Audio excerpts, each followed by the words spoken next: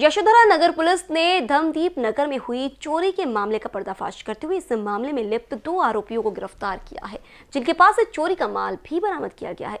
पकड़े गए आरोपियों में कुलदीप कांता प्रसाद, डाकरिया छिंदवाड़ा निवासी और महेंद्र कुंवर सिंह साहू राजनांदगांव छत्तीसगढ़ निवासी का समावेश है। यशोधरा नगर पुलिस ने धम्मदीप नगर में हुई चोरी के एक मामले का पर्दाफाश करते हुए दो आरोपियों को गिरफ़्तार किया है। जिनके पास से माल भी बरामद किया गया। पकड़े गए आरोपियों में कुलदीप कांता प्रसाद डाकरिया, गाँव हिर्री, छिंदवाड़ा निवासी और महेंद्र कुंवर सिंह साहू, राजनांदगांव छत्तीसगढ़ निवासी का समावेश है। दिनांक सत्तावीस ऑक्टोबर दोन हज़ार बावीसला यशोधरानगर हद्दीतील रहिवासी सौ गायत्री मोहन हरोळे या देवदर्शनाकरता घराला लॉक करून उज्जैन येथे गेल्या होत्या.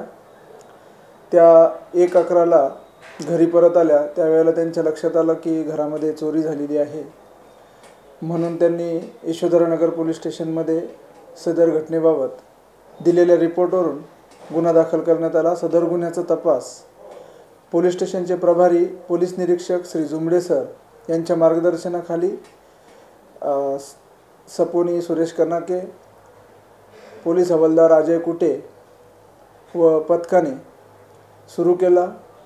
सदर तपासा सदर गुन्ह्याच्या तपासादरम्यान गुप्त बातमीदारामार्फत मिळालेल्या माहितीवरून सदर गुन्ह्यातील आरोपींचा शोध घेतला. आरोपी मिळून आले. त्यांना अटक करून त्यांच्याकडून पी सी आर दरम्यान सदर गुन्ह्यातील चोरीस गेलेला सोन्या चांदीचे दागिने रोख रोख रक्कम असं एकूण एक लाख शहाऐंशी हजार रुपयाचा मुद्देमाल हस्तगत करण्यात आला. सदर गुन्ह्यातले आरोपी हे आरोपीचे नाव कुलदीप कांताप्रसाद डाकरिया महेंद्र कुंवर सिंग शाहू विवेक उर्फ युवराज धोटे असे तीन आरोपी या गुन्ह्यामध्ये आहेत आणि यापैकी महेंद्र शाहू आणि विवेक धोटे हे हिस्ट्री शीटर असून यापूर्वी यांच्यावर अनेक गुन्हे दाखल आहेत. हे लोक ज्या वेळेला घराला लॉक लावून जातात, त्यावेळेला घरफोडी करून चोरी करण्याचे यांचे मॉडस आहे.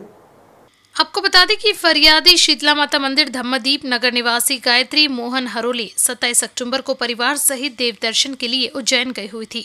इसी दौरान अज्ञात चोरों ने उनके घर के मुख्य दरवाजे का ताला तोड़कर सोने चांदी के आभूषण सहित करीब एक लाख छियासी हज़ार के माल पर हाथ साफ़ कर दिया था।